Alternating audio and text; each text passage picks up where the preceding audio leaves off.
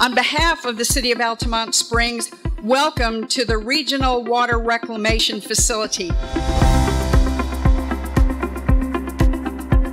We are here to celebrate a new technology and to tell you about the transformative work being done here. This new technology transforms harmful algae and wastewater biosolids into a fuel.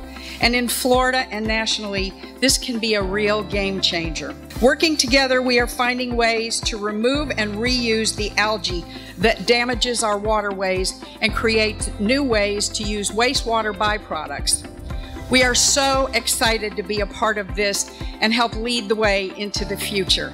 We want to thank our partners, AECOM and Genifuel, for the opportunity to be the first city in Florida to host this groundbreaking technology. We are so excited to work with these prestigious innovators as we discover clean and sustainable solutions for the future you know the support of the governor and the and the legislature and, and DEP and being able to make these grants available to test out these innovative technologies that otherwise might not have the opportunity to be developed. It's going to take processes like this for us to overcome um, the issues that we have in our waterways and make them make them the way they were historically so that people can continue to want to come to Florida and enjoy the beautiful natural resources that we have. The legislature has been able to fund this program over the last three years at $10 million each year, and this past session, an additional $15 million.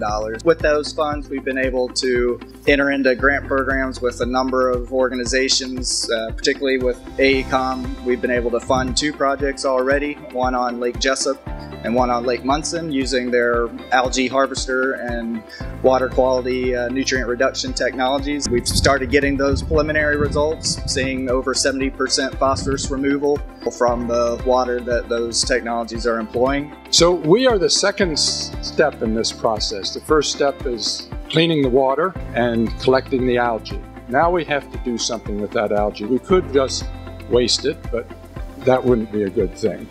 Instead, we're going to turn it into renewable energy. It's a process of using pressure and water and a, in a very short time, 30 minutes, to convert that into petroleum renewable crude oil and natural gas. The natural gas can go into a pipeline, the renewable crude can go to a refinery, and they're used just like the fossil equivalents, and they replace those fossil fuels. When we look at the amount of people in our planet, in our state, we're going to continue to generate more and more biosolids. This plant runs 24 hours a day, seven days, every single week, and it's going to get bigger because our population in our state is growing. So we have to find new ways to deal with this biomass. We're looking at biosolids as not as a problem, but now it's a source because there's carbon in those biosolids. And if we can take that carbon and transform it into an energy source, we're now on the path to sustainability. And we need everything and everybody working jointly together to solve this problem. Nature turns this whole process into fossil fuels in millions of years. What Altamonte Springs, AECOM, and Genifuels are doing right now is doing the same process in 30 minutes. Think about it. One of these days, we're going to say, well, we need more algae. We got to get turn that into fuel. That day's coming.